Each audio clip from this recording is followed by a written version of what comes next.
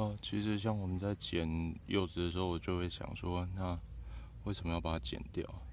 其实一个原因就是说，它的这个负荷其实已经很重了。你可以看得到柚子这么重，然后它这个枝芽已经被柚子给往下垂了。